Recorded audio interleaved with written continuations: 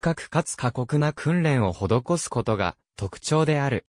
自己が帰属する組織への忠誠心の寛容や、軍事訓練、歌唱、舞踊、狩猟など、総合的な社会学習を主眼とする。英語名のアゴゲは古代ギリシア語に由来する。アゴゲはギリシア語では様々な意味を持ち、その中には、欧州、誘拐といったものも含まれるが、文献の文脈から判断すると、指導、訓練と解釈するのが正しいとされる。スパルタでは、兵力増強の観点から、子供は国の財産とみなされていた。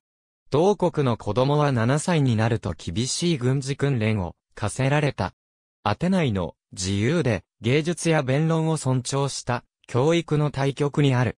実際の教育についての資料は、プルタルコスの英雄伝のリュクルゴスの項にある。彼による教育改革が、いわゆるスパルタ教育である。そこではまず、親は自分の子供を自由に育てる権利を持っていなかった。子供は、都市国家スパルタのものとされ、生まれた子供はすぐに、長老のもとに連れて行かれた。そこで、健康でしっかりしたこと判定されれば、育てることが許される。病身でひ弱な子供は、ターユゲトンのもとにあるアポテタイの淵に投げ捨てられた。また、7歳になった子供たちは、軍隊の駐屯地に集められ、いくつかの組に分けられ、同じ規律のもと、生活と学習も一緒に行われた。最高権職に就任している人間の中の少年監督官が子供を召集させた。また、少年監督官がいないときは、市民の居合わせる者が権限者になり、良いことがあれば申し付け、過ちを犯した者は罰した。大人が居合わせない場合は最も俊敏な者が少年組を指揮させるようにさせた。調査した上で、軽挙モードをする者がいた場合には強く懲らしめることができ、無知打ちを行う権限を持つ人たちもいた。そうして、大いなる謙虚さ従順さを持たせた。頭は丸刈りにされ、下着姿に、裸足で訓練を行った。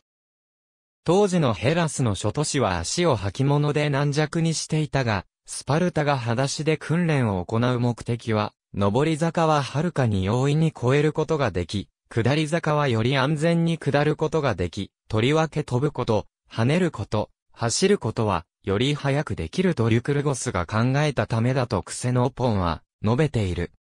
12歳になると、1年に1枚の下着を与えられ、下着を着なくても済むようにさせられる、沐浴も禁止された。会食する際の食事の量は、決して満腹して、だるくなることなく、欠乏状態で過ごすことに無経験でない程度と決められていた。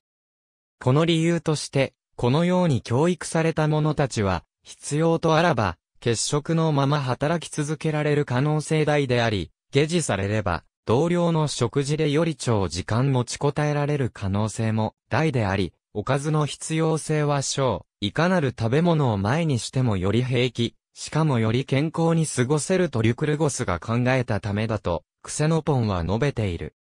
しかしあまりに上に苦しむことのないように、上をしのげるものがあれば盗むことを認めた。この目的についてクセノポンは、明らかに、盗みをしようとする者は、夜も眠ってはならず、日中も騙したり待ち伏せたりし、さらには探りを入れて何かを盗まれる相手を物色しなければならない。したがって明らかにこういったことすべてにおいて子供たちを必需品のより優れた作詞にすることを望んで隠することによってより戦闘的なものに教育したのである。と述べている。盗むところを見つかった者にはひどい鞭打ちを食らわせた。クセノポンはそれを行う理由について、人間は教えることに美しく従わない者は懲らしめるものなのである。だから、スパルタ人たちも捕まった子供たちを盗み方が美しくないとして罰するのである。と述べている。また、祭りでは皆裸で踊らされた。教育は成人するまで続き、町でも駐屯地にいるのと同じ生活を求められ、公人として国に仕えているという自覚を常に求められた。20歳になると部下を持ち、戦争の時は指揮し、家では彼らを召使いにした。女性はまず子作りが最優先とされ、強い子供を産める母体の育成のために幼少期から厳しい体育訓練を受けていた。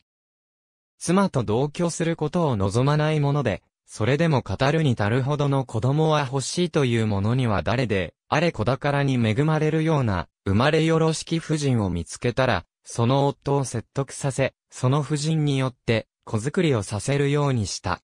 また、他のポリスと比べて、女性の権利や地位は認められていた。男性には強い子供が産めそうな女性、女性には戦争に出ても生きて帰ってきそうな男性が魅力的とみなされる傾向が強く、成人後に結婚相手を選ぶ際、魅力的な女性を複数の男性が取り合うことや、これほど頻繁には起こらなかったが、逆に魅力的な男性を複数の女性が取り合うことなどもあった。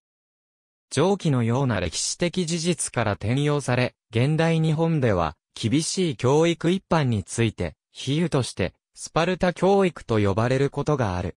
単に、スパルタとも呼ばれる。また、教育という名のもとで、生徒や子供への暴力行為など、虐待やアカデミックハラスメントとも取れる行為が施されることもある。それにより、死亡事件、傷害事件も多発している。